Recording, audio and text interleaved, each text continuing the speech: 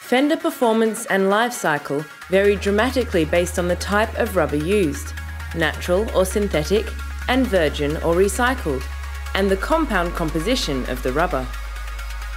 Compound composition has a dramatic impact on velocity factor, temperature factor, and fender life cycle. PIANC's 2002 Guidelines for the Design of Fender Systems highlighted the importance of velocity factor and temperature factor in the design and selection of fenders and introduced guidelines for reporting and calculating both. But current research into the changing properties of rubber compounds used in fender systems and the move towards non-traditional fillers mean velocity factor and temperature factor are now highly likely to have a material impact on engineering design and fender selection, as well as further implications for the design of other wharf infrastructure. First, let's take a look at velocity factor. Fenders should be tested at realistic berthing velocities to determine actual performance, but it's difficult to test at the speeds fenders will be subjected to in the field. The correct application of velocity factor is highly dependent on the natural rubber to synthetic based rubber blend ratio and the overall rubber compound formulation. Given the same compression time, a fender comprised of 100% natural rubber will have a lower velocity effect than one composed of 100% synthetic based rubber. Synthetic based rubber is commonly used in marine fenders as a replacement of natural rubber to improve physical properties, for example, in high temperature applications. So it is necessary for manufacturers to understand the effect of rubber compound composition on velocity factor. Velocity factor significantly affects fender performance characteristics and therefore fender system components and the wharf structure. Using velocity factor, performance figures should be adjusted to account for design berthing velocity. In general, we'd expect to see increased reaction force and a corresponding increase in energy absorption.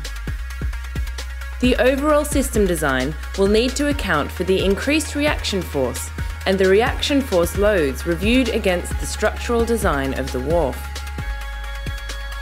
Temperature factor is another major consideration.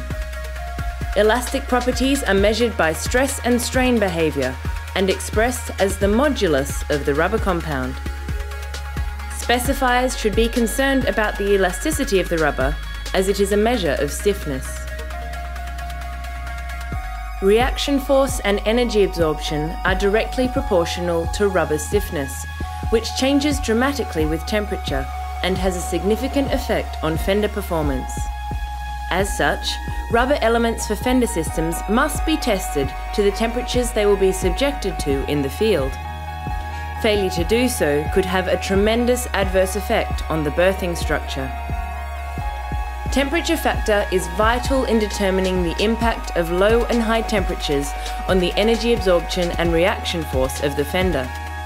It plays an important role in both the design of berthing structures and the selection of fender systems. Like velocity factor, temperature factor is highly sensitive to the type of rubber used.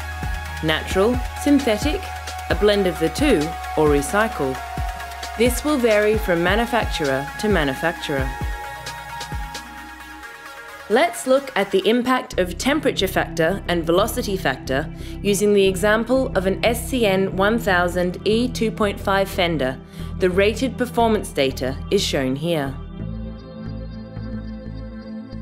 In the field, this fender is going to experience a ship berthing of 160 millimeters per second initial velocity in a location with a temperature range between 10 degrees and 40 degrees centigrade.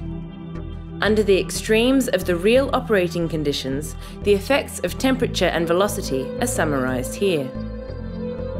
In real life, reaction force increases by 25% and energy absorption will decrease by 7%. The same fender performs differently depending on the factors applied. The magnitude of the factor depends on the rubber compound used and size of the fender.